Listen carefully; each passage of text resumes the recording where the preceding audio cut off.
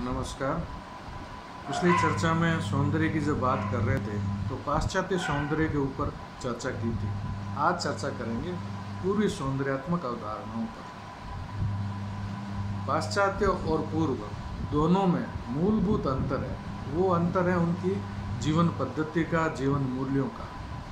पाश्चात्य सौंदर्य शास्त्र की चर्चा करते हुए यह बात सामने आई थी कि वो प्रत्यक्ष को आधार मानकर इंद्रिय जनित जो भी अनुभव होते हैं, उन्हीं को आधार मानते हुए अपनी सौंदर्य विवेचना करते हैं। लेकिन पूर्वी सौंदर्य शास्त्र में या भारतीय सौंदर्य शास्त्र में अपन बात करें तो सौंदर्य जैसा शब्द हमारे यहाँ नहीं था। सौंदर्य का प्रयोग वैदिक शास्त्र में या वैदिक साहित्य में नहीं हुआ था। बाद में कहीं जाकर ये सौंदर्य हुआ। हमारे यहाँ इसको जहाँ पाश्चात्य में सौंदर्य शब्द का उपयोग होता है, उसके लिए हमारे यहाँ रस शब्द का उपयोग होता है। अपन जब इसको विस्तृत पूर्वी सौंदर्य शास्त्र का क्रमबद्ध अध्ययन करेंगे, तब इसके बारे में विस्तृत से बात करेंगे। लेकिन इसकी जो प्रीफेस है, पूर्व पृष्ठिका है, उस पर चर्चा करते हुए ये बात सामने रखी जानी चाहिए कि भारतीय जीवन मूल्य जो क्या थे, सौंदर्य की अवधारणा क्या थी, वो उन जीवन मूल्यों पर आधारित थी। पाश्चात्य जीवन मूल्य जहाँ भौतिकवादी और प्रत्यक्ष को जहाँ महत्व देता था और भोगवादी दृष्टि को ज़्यादा महत्व देता था, वहीं पूर्वी जो जीवन मूल्य थे, वो उससे बिल्कुल भिन्न थे। पूर्वी या पूर्वी की जगह मैं भारतीय शब्द प्रयोग कर रहा हूँ, क्योंकि आपके पाठ्यक्रम में भारतीय से संबंधित ही वो है। तो भारतीय जीवन पद्धति के अंदर, चाहे कैसे भी काम हो, किसी भी क्षेत्र का काम हो, जीवन के चार पुरुषार्थ माने गए आप सबको भी इसकी जानकारी होगी कि वो पुरुषार्थ क्या है। अर्थ, धर्म, काम और मोक्ष। मोक्ष अंतिम पुरुषार्थ और कला का भी यही है, उद्देश्य था। कला के भी यही चार पुरुषार्थ थे अर्थ धर्म काम मोक्ष। तो जो अंतिम पुरुषार्थ था, वो था मोक्ष। और मोक्ष की स्थिति ध्यान के द्वारा, तपस्या के द्वारा, ज्ञान के द्वारा, भक्ति के द्वारा, या कलाओं के द्वारा किस प्रकार प्राप्त की जाती है, वही आगे जाकर हमें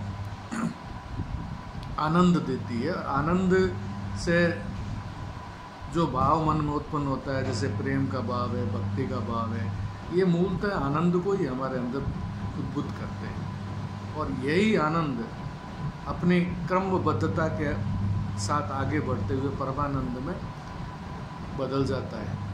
और परमानंद हमारे मोक्ष का एक प्रकार है। अगर हम उस परम आनंद को प्राप्त कर लेते हैं तो हमारा जीवन मोक्ष की तरफ़ आगे बढ़ जाता है।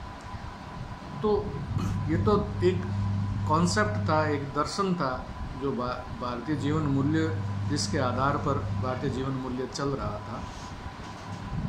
लेकिन कला की दृष्टि से अगर बात करें तो पाश्चात्य कला और पूर्वी कलाओं का अगर अध्ययन करें तो दोनों के अंदर बेसिक फ़र्क भी था। भारत के अंदर चाहे आप अजंता से लेकर अब तक की आधुनिक काल से पूर्व तक की कलाओं के बारे में अगर चर्चा करेंगे, चाहे अजंता के भित्ति चित्र हो, चाहे अभ्रंश शैली के पोथी चित्र हो, चाहे भारतीय लघु चित्र परंपरा, जिसमें पहाड़ी, मुगल, राजस्थानी, ये जितनी भी शैलियाँ, लघु चित्र शैलियाँ थी, इन सब की बात हो, इन सब में एक बात बिल्कुल समान रूप से पाई जाती है वो है उनकी सामुदायिक चेतना। यहाँ किसी व्यक्ति को इतना महत्व नहीं देते। यहाँ व्यक्तित्व को महत्व देते हैं। कला भी उनके लिए एक आजीव, आजीविका चलाने का साधन, सामान्य स्तर पर रही होगी। लेकिन कला के प्रति जो उनका समर्पण था, वह समर्पण किसी अन्य चीज़ का मोहताज नहीं था। वो उनकी मन की भावना थी जो कला के प्रति वो पूर्ण रूप से समर्पित थे तो जहाँ कला के प्रति समर्पण की बात आती है तो वहाँ कला महत्वपूर्ण हो जाती है, कलाकार महत्वपूर्ण नहीं होता। तो आपने देखा होगा कि अजंता के चित्रों में कहीं भी कलाकार का कोई ज़िक्र नहीं है। जैन शैली में, अभ्रंश शैली में अनेकों सैकड़ों पोथी चित्र बनाए गए, लेकिन उसमें किसी कलाकार का विशेष रूप से उल्लेख नहीं मिलते हैं।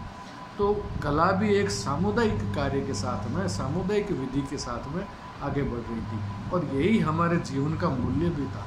हम सामुदायिक सोच को लेकर आगे बढ़ रहे थे, समर्पण को लेकर आगे बढ़ते बढ़ रहे थे। और दूसरी बात, जिन कलाओं का मैंने ज़िक्र किया, अजंता, अपभ्रंश, लघु चित्र परंपरा, इसमें कहीं भी किसी व्यक्ति का परिचायक चेहरा, चित्र आपको नहीं मिलेगा। जितने भी पेंटिंग्स बनी हैं, चाहे वो अजंता की वॉल पेंटिंग्स हो चाहे वो अभ्रंश शैली में चित्र हो, जैन महावीर स्वामी के जीवन से संबंधित चित्र हो, चाहे लघु चित्र शैली के अंदर अनेक नाना विषयों को लेकर चित्र बनाए गए जिसमें पुष्टि मार्ग राधा और कृष्ण को लेकर बहुत चित्र बने, ऋतु संहार को लेकर, ऋतु वर्णन को लेकर बहुत चित्र बने, बारह मासा को लेकर बहुत चित्र बने, नायक नायिका भेद पर बहुत चित्र मिले, बने।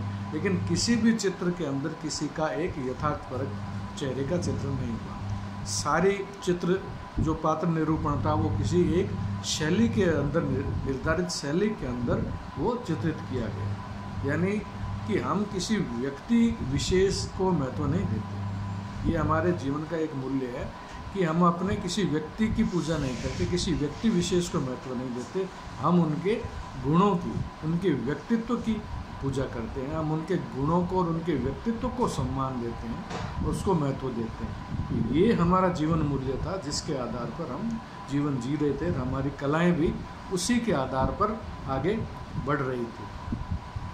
और जहाँ अध्यात्म की बात आती है, जहाँ मानवता की बात आती है तो हमारा जो सारा जो दृष्टिकोण था, वो मानव कल्याण के लिए था। चाहे वो कोई कार्य हो। उसका अंतिम जैसे चार पुरुषार्थ की आरंभ में बात की थी, जैसे मोक्ष की बात की थी तो केवल स्वयं का आनंद, मोक्ष नहीं।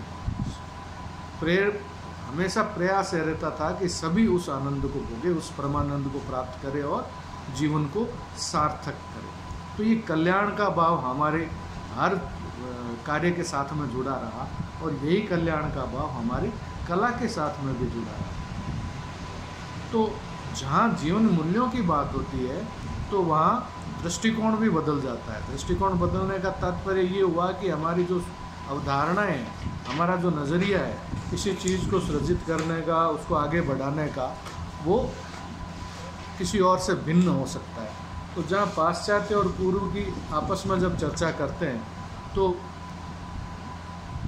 मैंने पाश्चात्य की चर्चा करते हुए कहा था कि वो प्रत्यक्ष को ज़्यादा महत्व देते हैं, जबकि उनके लिए प्रत्यक्ष ही प्रमाण है। और भारतीय अध्यात्म चिंतन में अगर देखें तो प्रत्यक्ष साथ सबसे अंतिम श्रेणी में आता है। सबसे निचले स्तर का अगर कोई ऑथेंटिफिकेशन है, किसी की प्रमाणिकता सिद्ध की जा सकती है तो वो प्रत्यक्ष ज्ञान के द्वारा की जा सकती है। अगर भारतीय दर्शन को आप थोड़ा सा रुचि रखते हो और पढ़ते हो तो वहाँ अपने निर्णय तक पहुँचने के लिए किसी बात को प्रमाणित करने के लिए अन्य दूसरे साधन भी है जिसमें लॉजिक है जैसे तर्क है। तर्क एक ऐसा माध्यम है एक मेज़रमेंट है जिससे हम अपनी बात को प्रमाणित कर सकते हैं। दूसरा अनुमान है अनुभव के द्वारा आप जो चीज़ हमने अनुभव से प्राप्त की है वो आपकी एक ए, किसी चीज़ को अनुमान करने की आपकी एक विधा वो उसमें उन्नत करता है। श्रुति है। यानी कि हम अपने जो पूर्व में हमारे जो चिंतक हुए हैं या हमारे जो पूर्वज हुए हैं, उनकी कई जो बात चली आ रही है, ज्ञान चला आ रहा है, उनको हम श्रुति के आधार पर भी अपने निर्णय का आधार बनाते हैं और प्रत्यक्ष बिल्कुल अंतिम श्रेणी में आती आती है। तो हमारे जो जीवन मूल्य थे, वो पाश्चात्य जीवन मूल्य से बिल्कुल भिन्न थे। जहाँ उनकी भौतिकवादी दृष्टिकोण था तो उन्होंने रूपगत सौंदर्य को लेकर ज़्यादा महत्व दिया। और पूर्वी सौंदर्य धारणाएँ जो थी, उसके अंदर भौतिक सौंदर्य को या रूपगत सौंदर्य को महत्व नहीं दिया। हमारे यहाँ आत्मिक और आत्मिक सौंदर्य को ज़्यादा महत्व दिया। हमारे यहाँ व्यक्तित्व को ज़्यादा महत्व दिया। हमारे यहाँ गुणा, गुणों को ज़्यादा महत्व दिया। तो जितने भी भारतीय जो कलाएँ हैं, उनके पीछे ये सौंदर्य बोध उसका आधार रहा है। सौंदर्य के अगर अपन पूर्वी साहित्य में या भारत के प्राचीन साहित्य में अगर ढूंढना चाहें कि भाई सौंदर्य कहाँ प्रयुक्त हुआ है तो सौंदर्य जैसा शब्द पूर्व में कहीं विशेष मिलता नहीं है वैदिक और वैदिक साहित्य में। हमारे यहाँ सौंदर्य को रस का, जैसे भरत मुनि ने नाट्यशास्त्र की जो रचना की, उसमें रस का विस्तार पूर्ण उसमें वर्णन दिया है। लेकिन रस निश्चित रूप से जैसे पाश्चात्य में सौंदर्य शब्द को लेकर सारी अवधारणाएँ और विश्लेषण और चलते हैं। भारतीय दर्शन के अंदर या पूर्वी अवधारणा के अंदर जो सौंदर्य है, वो रस शब्द को या रस को लेकर आगे बढ़ता है। यानी जो सौंदर्य माना जा रहा है, पाश्चात्य में सौंदर्य शब्द से जो सौंदर्य माना जा रहा है पूर्वी पूर्वी अवधारणाओं में उसको रस कहा जाता है। और इसकी भट्ट मुनि ने इसके बारे में बड़े विस्तार से लिखा है। अगर वैदिक युग की भी अपन इस पर चर्चा करें तो सौंदर्य से समानार्थक शब्द ज़रूर मिल जाएँगे, लेकिन सौंदर्य जैसा शब्द वहाँ नहीं मिलेगा। जैसे चारू है, कई जगह आया है, रुचिर है, रणु है पेसच है, वल्ग है, ये जो सारे शब्द थे, ये सारे शब्द सौंदर्य के समानार्थ है। जैसे अच्छा सौंदर्य में भी दो दो प्रकार की, जैसे बाह्य सौंदर्य को अभिलक्षित करने वाले शब्दों की भी एक अपनी है, जैसे अग्नि सूक्त, इंद्र सूक्त, ये जो जितने भी सूक्त है, उसके अंदर इन शब्दों का प्रयोग भी हुआ है। जैसे, बाह्य के लिए जैसे क्षमता है, प्रकाश है, चमक है, सुषम है, शोभन है, कांत है, ये जो शब्द थे, ये बाहरी सौंदर्य को अभिव्यक्त कर रहे थे। वैसे ही आंतरिक सौंदर्य के लिए भी समानार्थ कई शब्द थे। जैसे मनोरम है, मनोयोग है, वल्लभ है अभिषिप्त है, ये मन के सौंदर्य को, मन की खुशी को, मन के अंदर जो आनंद प्राप्त हो रहे थे, उन शब्दों को अभिव्यक्त करने के लिए भी प्रयोग में लिए जाते थे।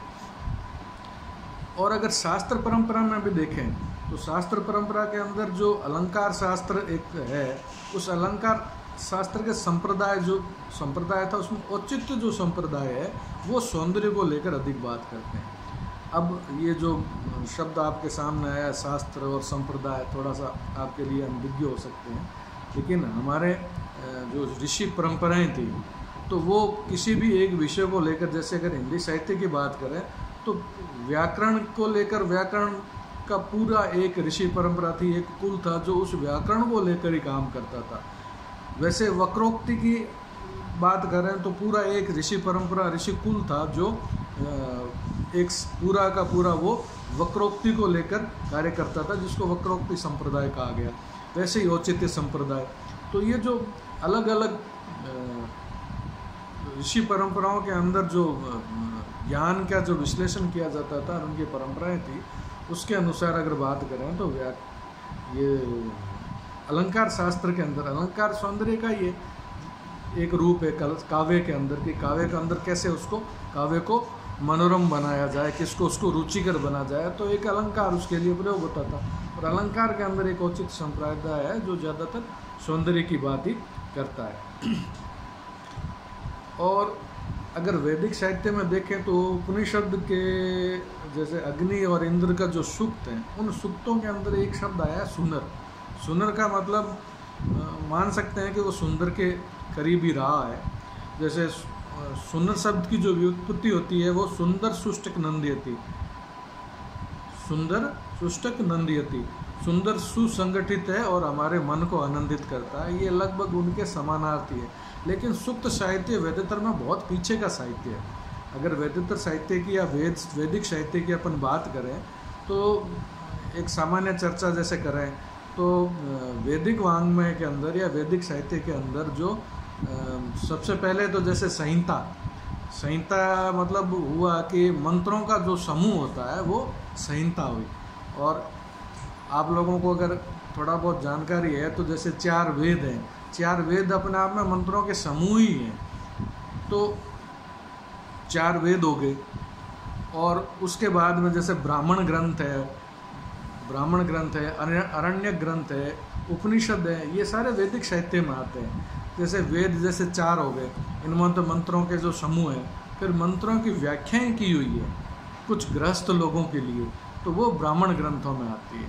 जो प्राकृतिक शक्तियाँ, जितनी भी संसार के अंदर प्राकृतिक शक्तियाँ हैं, उन प्राकृतिक शक्तियों को देवीय स्वरूप प्रदान किया गया है और उनको मंत्रों के द्वारा उनको प्रशंसा की जाती है, उनको खुश किया जाता है, उनको याद किया जाता है, उनकी प्रशंसा की जाती है, उनका गुणगान किया जाता है, वो ब्राह्मण ग्रंथों के अंदर आता है, जो ग्रस्त लोगों के लिए होता है। और अरण्य ग्रंथ जो है, वो वानप्रस्थियों के लिए होते हैं, जिसमें मंत्रों का आध्यात्मिक महत्व उसमें स्थापित किया जाता है। आध्यात्मिक विवेचन उसका